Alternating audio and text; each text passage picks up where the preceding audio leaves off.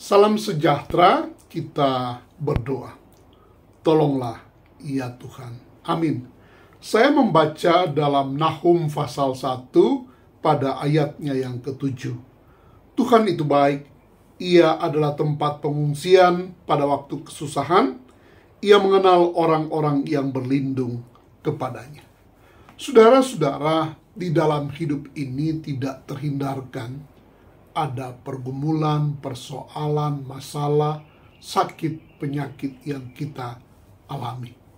Bagaimana kita mencari jalan keluar atau perlindungan? Pembacaan kita bersama, mari kita datang kepada Tuhan. Mari kita berlindung kepadanya. Karena apa? Karena dia mengenal kita-kita, saudara dan saya, yang berlindung padanya.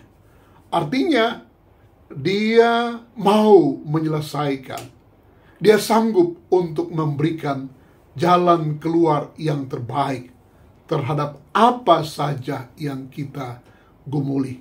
Karena itu mari kita datang kepada Tuhan, mari kita berlindung kepadanya, karena dialah tempat pengungsian yang terbaik. Kita berdoa. Engkaulah Tuhan yang peduli terhadap kesulitan-kesulitan kami. Biarlah kami senantiasa datang kepadamu, memohonkan campur tanganmu. Dalam nama Kristus. Amin. Tuhan memberkati.